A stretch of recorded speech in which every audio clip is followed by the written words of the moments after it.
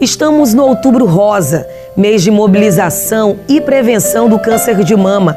Amamente o máximo de tempo possível. As mães que amamentam seus bebês por pelo menos um ano reduzem o risco de desenvolverem um câncer de mama futuramente. TV Difusora, junto com você na prevenção do câncer de mama.